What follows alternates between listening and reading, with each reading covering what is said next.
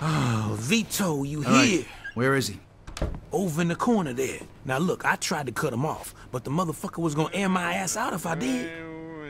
Okay, lock that door and just give me a minute with him.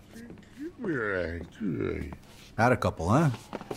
How you feeling? Vito, about time you showed up. Everybody went home already. Gee, Joe. I wonder why. Oh, Heh. right. You drive here? nah, I took a cab. I wouldn't park my car in this neighborhood. All right, finish your drink and let's go.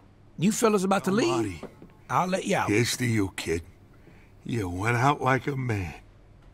Shit, now where'd I put my keys? I'm so sorry, kid.